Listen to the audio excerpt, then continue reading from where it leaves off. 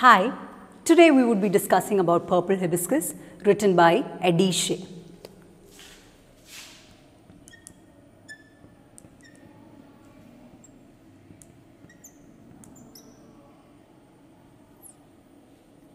I hope you would have read the novel. As you all know, Purple Hibiscus is written by the Nigerian writer Adichie and she was greatly influenced by Achebe. I'm sure most of you would have read quite a work, quite a lot of works by Achebe as well. Now, Shea did not believe in single-handed stories. I'm sure you would have watched the TED Talk, uh, which I have sent you the link in the previous classes. And as she did not believe in single stories, she decided that she wanted to give multiple perspectives of Nigeria. And this multiple perspectives of Nigeria is what she's trying to bring about through the novel Purple Hibiscus. Now, as the name suggests, purple hibiscus. I'm sure most of you would have seen red hibiscus and not a purple hibiscus. So this was basically a hybrid variety which was found at Aunt Ifeoma's house. Now who is Aunt Ifeoma? Aunt Ifeoma is one of the major characters as mentioned in purple hibiscus.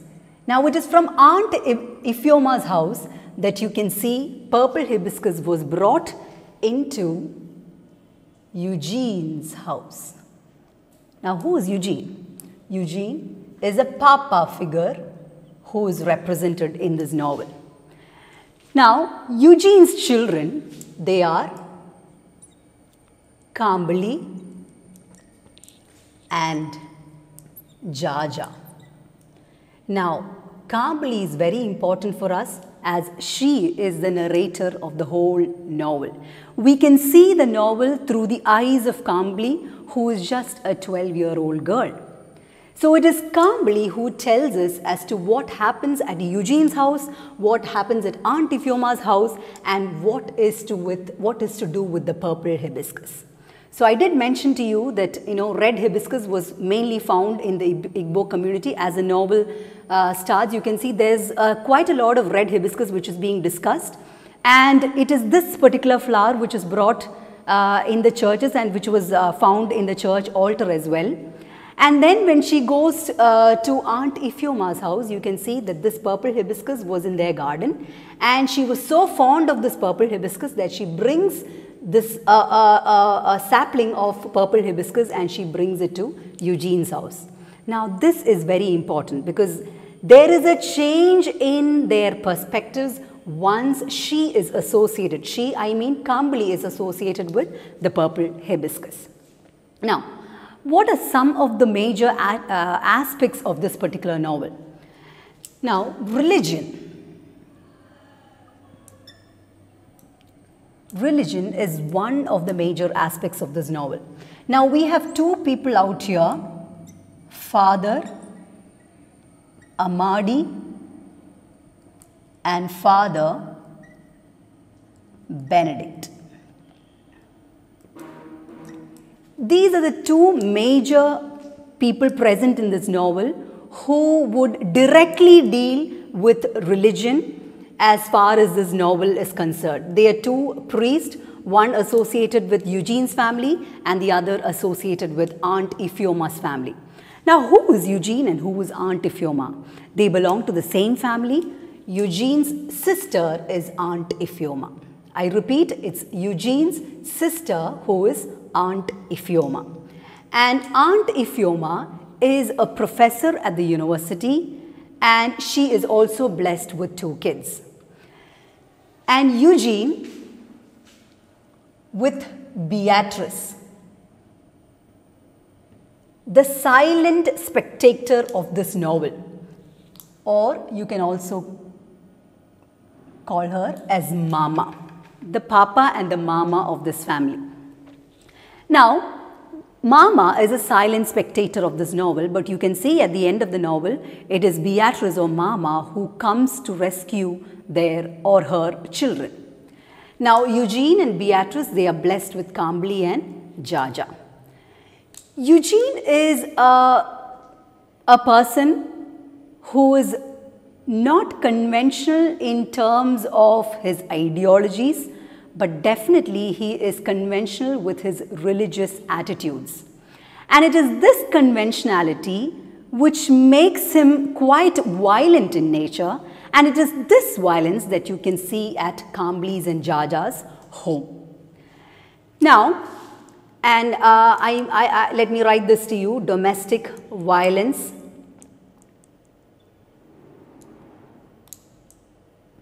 Domestic violence as present in Eugene's and Beatrice's house or Papa's and Mama's house.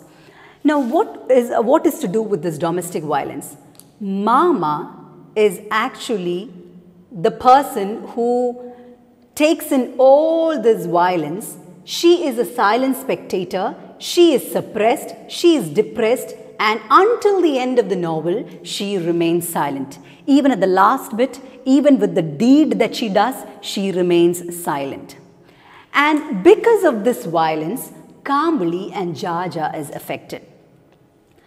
Kambili is also kind of silent, but she does try to uh, raise out her voice at certain point of time. But Jaja is totally opposite. Every time Papa brings about a violence at home, you can see that Jaja is the one who reciprocates. And this is what you can see in the Nigerian community, where it is the females in this community where they remain to be silent throughout. And it is this patriarchal power which, um, which is foreshadowed in this novel as well. But remember, uh, I did mention to you about Adichie. She did not believe in single story and as a result, she did not want to say that they were completely suppressed. They did have voices and as a result, you can see that Beatrice reciprocates at the end of the novel and she's breaking off the single story. She's bringing about multiple perspectives as well. So religion is one aspect where Papa is uh, totally conventional in his ideas with the aspects of religion, but he is totally for the society.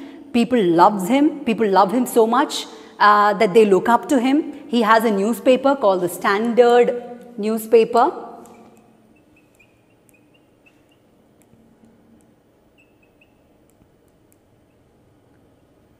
And this newspaper is also important because all the atrocities of the Nigerian community, the post-Nigerian effects or the post-colonial Nigerian effects are mentioned in the standard newspaper.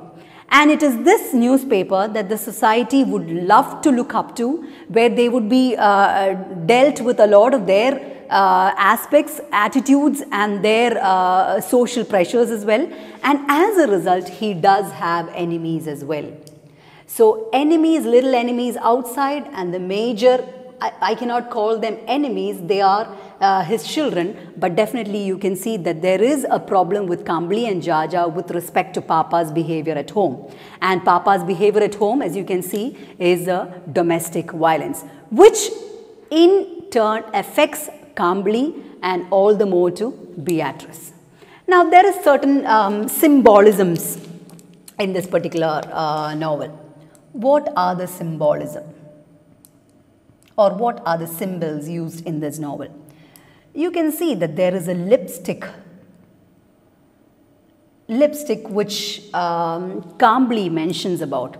She sees the red lipstick on a female's face or the lips only when she comes to Aunt Ifeoma's house. She is not associated with such ladies uh, in her environment, neither does she see her mother do it, nor um, it might be because of the religious conventionalities that they follow at home that she is not attributed to any of the ladies who wear such lipsticks. You can see that this, she, is, she sees this only when she reach Aunt Ifeoma's house. And that is when she realizes there is a true identity for a female or for a girl. No matter how conventional beliefs that you have, that you are associated with, there is definitely an individuality, there is definitely an identity for a lady and that she realizes only when Aunt Ifeoma's, at Aunt Ifeoma's house. Again, Adichie's single story is, you know, crossed here because she brings about a very strong lady through Aunt Ifeoma through her novel. Adichie brings about through Aunt Ifeoma in her novel to show that there are other females in their society as well. Another major aspect that you can see here uh, are the figurines. Now here the figurines are associated with mama. Every time there is a violence at home, it, it would be one of her figurines which would be lost. Now just as the figurines, mama is also very delicate. Very delicate, soft and suppressed.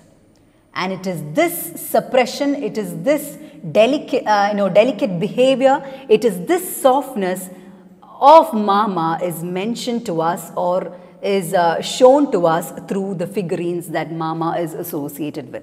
So every time papa comes home, every time there's a violence at home, you can see one of her figurines or one of her self is broken.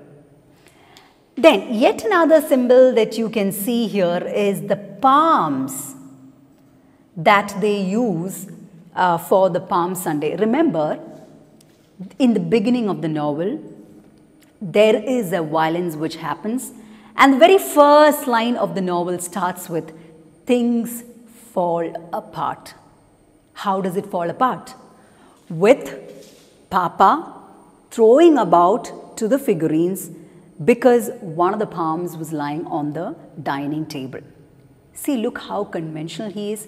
He could not relate a palm leaf on the table.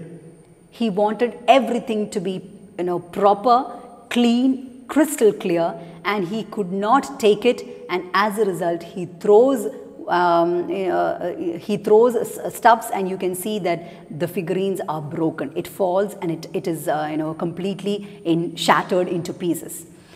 And it is this palm which is uh, referred to as uh, the Palm Sunday and the palm leaves which are used on Palm Sundays, you can see that these leaves are a representation of hope and freedom. The palms which are used on Sundays, the palm leaves which are used on Palm Sundays, brings to us, based on the Christian belief ideology, it is it shows us hope and it also shows us freedom. Okay, so it is this hope and freedom that Adichie attributes at the end of the novel to each of her characters. So one way or the other, you can see that Father Amadi, Father Benedict, who is also you know uh, associated with their religious beliefs, you can see that there is a there is a quite a lot of difference between both these priests one who is uh, very stringent in his ideas about the conventional beliefs and the other one who is totally open to ideas. Now, it is this openness which brings Kambili into a total change of the whole world and it gives her hope and it gives her freedom. So, in a nutshell, if I can tell you that uh, Kambili and Jaja are raised up in an environment where they are uh, they have been seeing the domestic violence. They're not very happy. They're associated with their books and they live about because mama is uh, a silent spectator and she's the one who raises her children. But you can see that there is a blood in the family which is Aunt Ifeoma or Papa's sister who lives um, in the university and she is also a university professor. Every time uh, uh, Aunt Ifeoma tells Papa to send her kids there, Papa does not agree to it. But at one point of a time, you can see that there is a change in Papa's um, Papa's ideas and he says, okay, I can send my children and that is when Kambili and Jaja comes to Aunt Ifeoma's house. So when Kambili and Jaja comes to Aunt Ifeoma's house, you can see that they are quite shy in nature. They do not know how to behave they are not open to things and Aunt Ifeoma's children are also finding it quite difficult to associate with Kambili and uh, Jaja. You can see that slowly there is a gradual change with the interference of Aunt Ifeoma. And it is Aunt Ifeoma who gives them hope, who gives them freedom, who gives them life, who gives them multiple perspectives of a different environment that they've been used to all this while. And again, as I've already mentioned, remember I told you at, this, at, the, uh, at the start of the session that the purple hibiscus was found at Aunt Ifeoma's house. And again, when uh, this uh, purple hibiscus is seen in Aunt Ifeoma's house, Kambili is totally attracted to it and you can see there is again a revival. There is a hybrid quality in her. And this hybrid quality, which is a mix of two cultures, the two cultures which means one that she was associated with her papa's family and the other one when she comes to Aunt Ifeoma's house. So it is this mixture of culture which brings us to the theory of hybridization.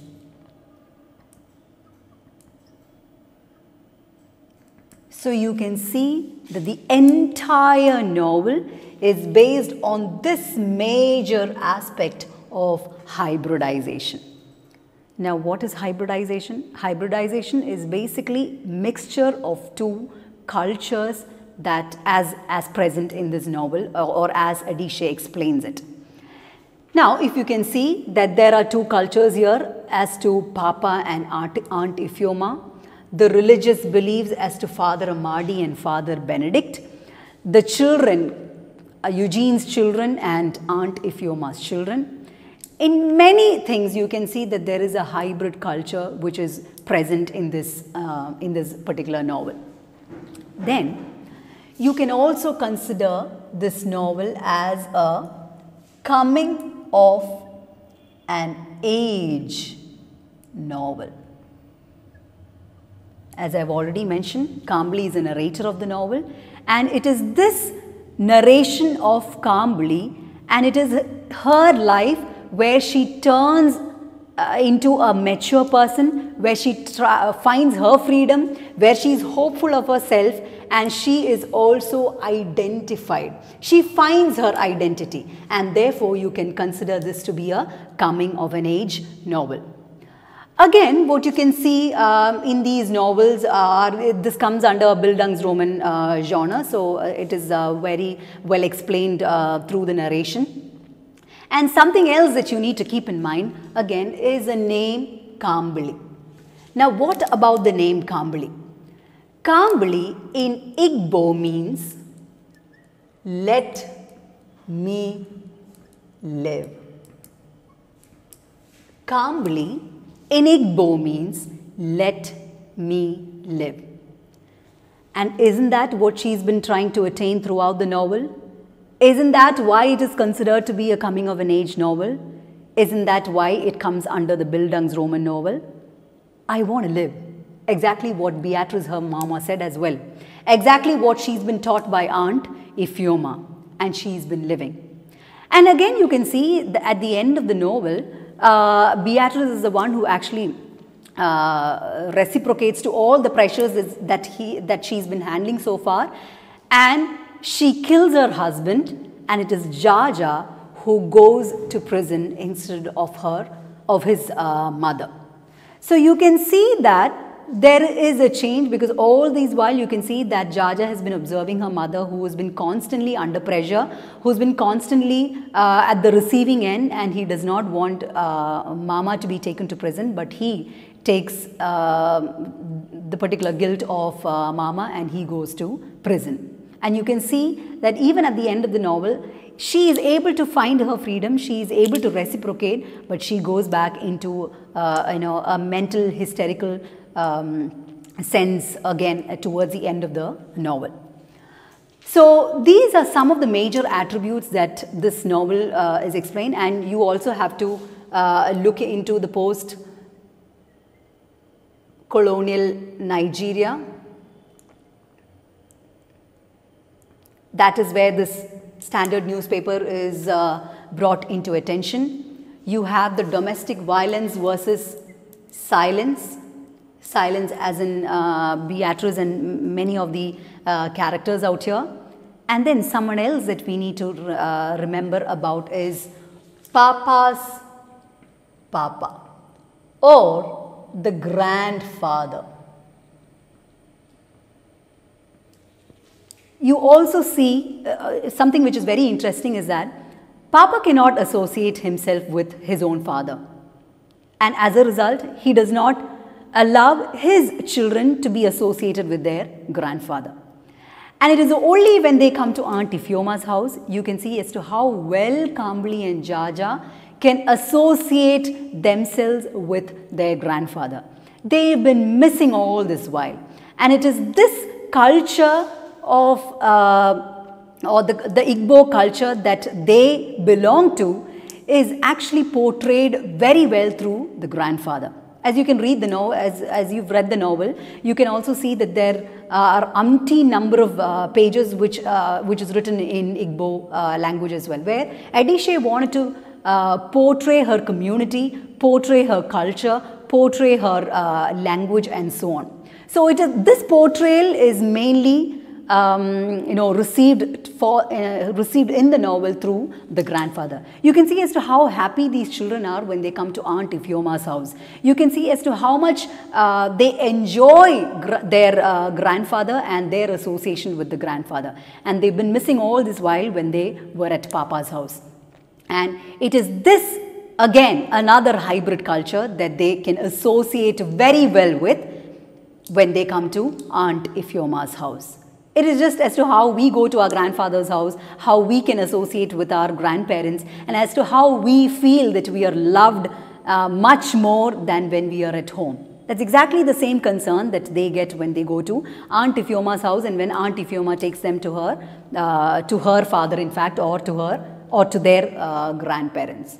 So in a nutshell, you can see that purple hibiscus, a hybrid variety written by Adichie, bringing about hybrid cultures into this uh, particular novel where she breaks the single story line and she brings about multiple perspectives. Multiple perspectives in every aspects, whether be it religion, whether be it the hopefulness, the, the identity, uh, the symbols that are used, the colonization, whatever it is, you can see that everything associated uh, here in this novel has different meanings altogether.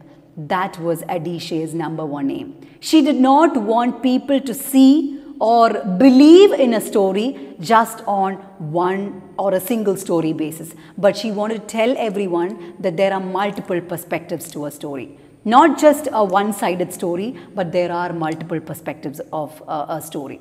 So that is how Kambili ends the novel where there is a, a tragedy which happens which I already mentioned, a, uh, an ironical end you could say. And this ironical end or whatever happens in the novel is finally the growth of Kambili, the narrator of the novel.